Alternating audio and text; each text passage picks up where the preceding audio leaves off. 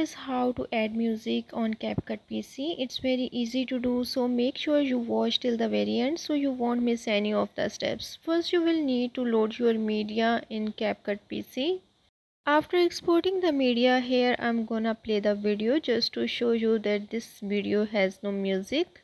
Now to add music in my video here I'm gonna click on the audio option at the top. Then I clicked on the music option on the left corner. Now you have to wait for the music to load.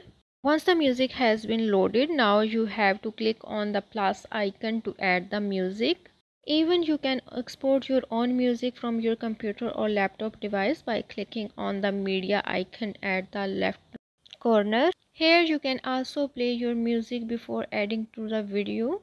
After selecting my desired music, now I am dragging it to adjust according to my video length.